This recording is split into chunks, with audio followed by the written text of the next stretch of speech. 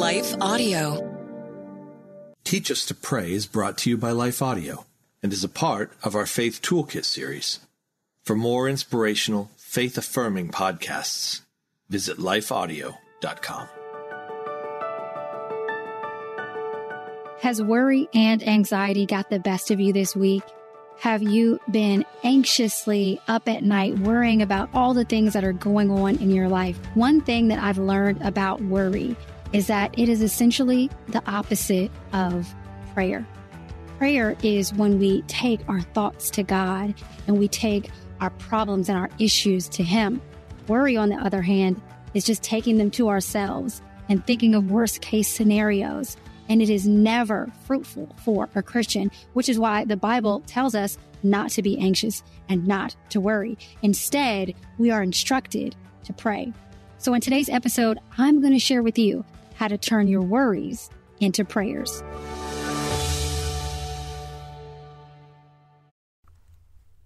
Traveling to the Holy Land will be one of the most amazing trips of your life. Walking the same steps that Jesus did is an overwhelming and powerful experience that you will never forget. It's time to go visit the birthplace of the Bible. For more information, go to holyland.israel.travel. Israel, exactly like nowhere else. This podcast is supported by Morgan Stanley. At Morgan Stanley, we see the world with the wonder of new eyes helping you discover untapped possibilities and relentlessly working with you to make them real. Because grit and vision working in lockstep puts you on the path to your full potential. Old school grit, new world ideas. Morgan Stanley. To learn more, visit morganstanley.com slash us. Investing involves risk. Morgan Stanley Smith Barney LLC.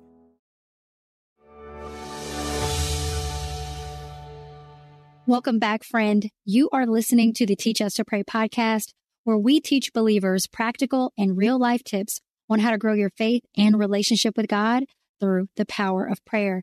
I'm Christina Patterson, host of the Teach Us to Pray podcast and founder of Beloved Women, where I have the honor of encouraging, equipping, and empowering women in the love of Jesus Christ and the truth of God's word.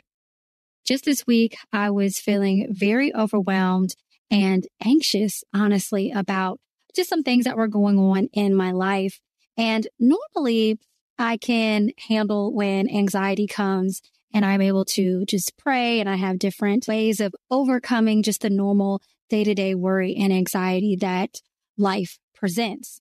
But this week was particularly different and the anxiety and the worry just was starting to feel overwhelming to the point where I was like, okay, I can't carry this on my own. And God was just so gracious this week to give me a day where the kids were home. They had a teacher work day, so I didn't have to get up early and I could just really just go at my own pace and just process my thoughts and my feelings and what was going on. But the greatest gift was that I had the opportunity to speak to two of my best friends. And so just that slower paced day gave me a chance to have some time to just talk to my friends and just confess to them what was on my mind and what was going on and just allowed for me to just share my burdens with my sisters in Christ, which are like real life sisters to me. And one of my friends, she prayed for me after our conversation and she prayed that my worries would be turned into prayers. And it was just such a good reminder to instead of obsessing over all that could possibly go mm-hmm. wrong or all the what if scenarios that keep us up at night to turn those thoughts into prayers. And this is exactly what the Bible instructs us to do. Mm-hmm. And Philippians 4 verses 6 through 7 tells us, do not be anxious about anything, but in everything by prayer and supplication with thanksgiving, let your request be made known to God. And the peace of God, which surpasses all understanding, will guard your hearts and your minds in Christ Jesus.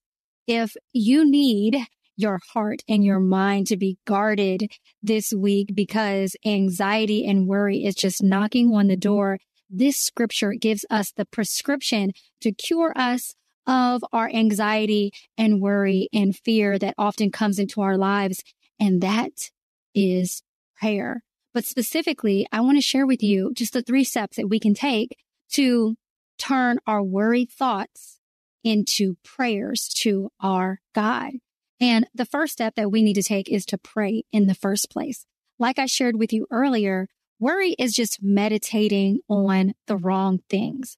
And if you can meditate and think and obsess on the wrong things, then we just need to flip the switch in our brains and turn those thoughts into thinking about the right things and to focusing our mind on God. The Bible tells us that those who keep their mind on God will have his perfect peace.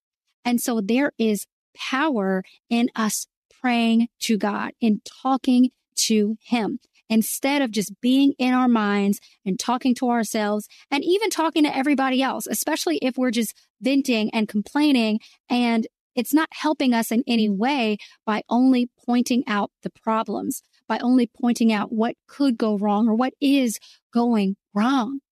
But when we're still enough to get in the presence of the Lord and to just talk to him, it helps us to start shifting our mind from meditating on what's bad to meditating on God and keeping our minds stayed on Him as the scripture tells us so that we can then receive His peace. And so what I've been doing is I've just been using my worried thoughts as prayer points for what to talk to God about. So instead of worrying about my health and something bad that might happen, I just pray to God that He would make me healthy. Instead of worrying about my children and what might happen to them or being afraid of them going to school that day or whatever might worry might be going on in my head. I just pray that God would be a hedge of protection over them. Instead of worrying about an upcoming trip, I'm praying now for protection and God to keep me as I travel. Do you see what I'm doing here? Instead of worrying, I am taking my request to God and I'm asking for him to do what my worries cannot do. And so then that means that instead of worrying about it, I'm inviting God and his power and his strength and his protection and his provision into it.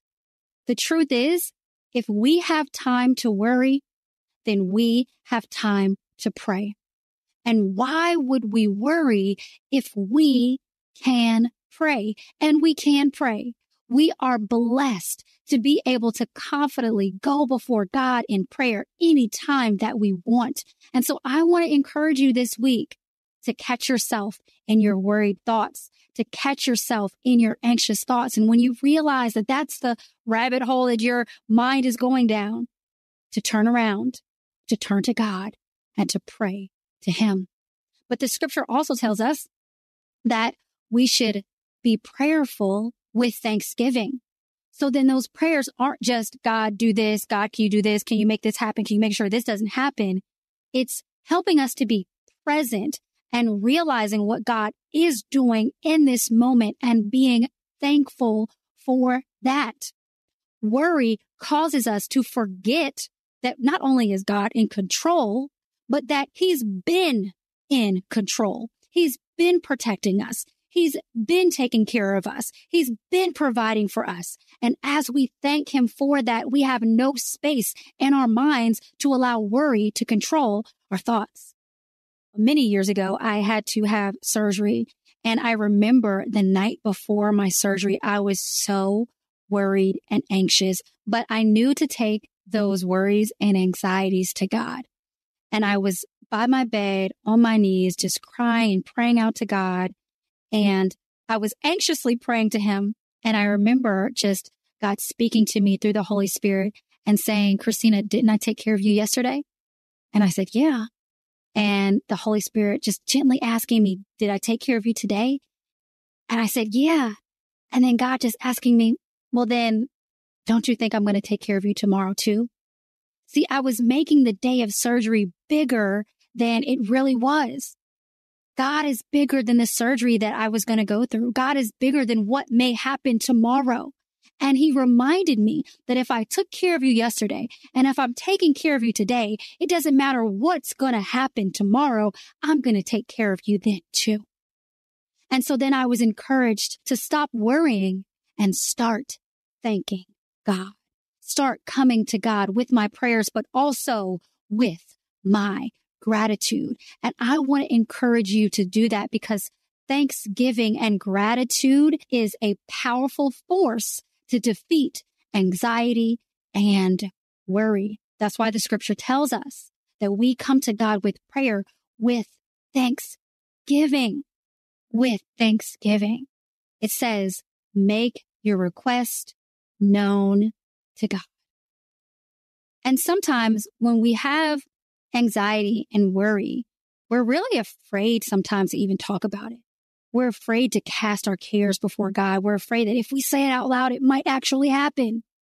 But God is bigger than our words. He's bigger than our needs. He's bigger than our worries and our anxieties. And we need to get real with God.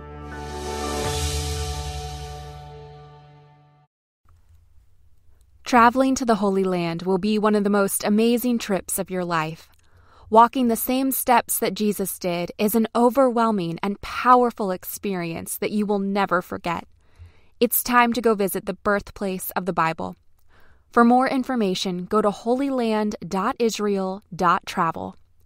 Israel, exactly like nowhere else. This podcast is supported by Morgan Stanley. What do you get from the Morgan Stanley client experience? Listening more than talking, and a personalized plan to guide you through a changing world. To learn more, visit morganstanley.com slash us. Investing involves risk. Morgan Stanley Smith Barney LLC.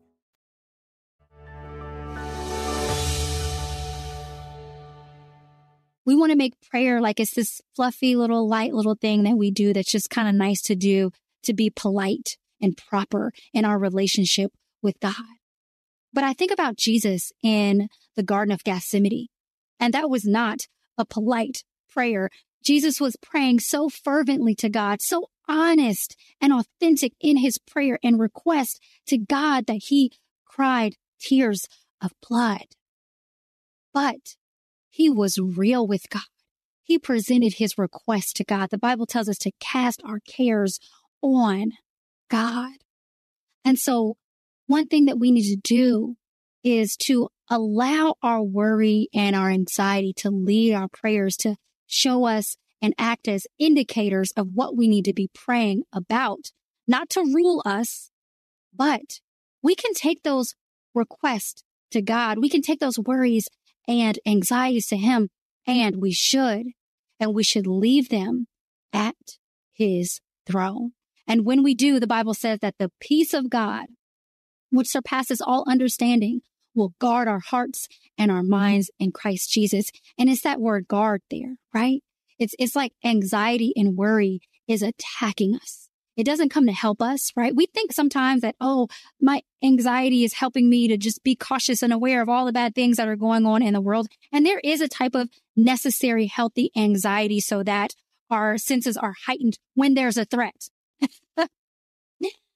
but Many times, our anxieties and worries never come to pass, and they're actually just a waste of our time and our energy. Dr. Tony Evans says, and I'm paraphrasing here, but he says that our worries and anxieties are like holding up an umbrella when it's not raining. And so we need to guard our minds and our hearts from those types of thoughts. And we can do that when we turn our worries into prayers. Did you know that God made us all beautifully different, even in the way that we pray? That's right.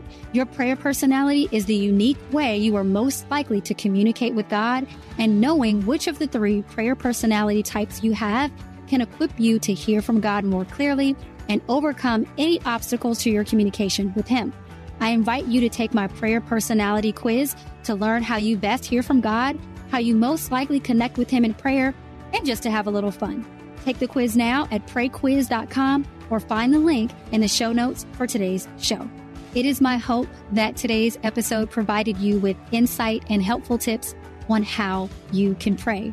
We have so much more to talk about when it comes to prayer. So I hope that if you were encouraged by today's episode, you will share it with a friend, leave a positive review, and subscribe so that you don't miss any future episodes of the Teach Us to Pray podcast, where we will continue to learn how just like breathing, prayer can become a natural, consistent, and life giving part of our everyday lives. Until then, be sure to connect with me at belovedwomen.org and check out the show notes to download my free five day prayer guide. I also want to invite you to study the Bible with me by downloading the Beloved Women app, available now in the Apple or Google Play stores or at belovedwomen.tv. Thank you so much for taking time to listen today. God bless you, and I'll talk to you in the next episode. Teach Us to Pray is a production of Life Audio and Salem Media. If you liked what you heard today, please take a second to rate and review this podcast in your favorite podcast app so that more listeners like you can find the show. For more faith filled, inspirational podcasts, visit us at lifeaudio.com.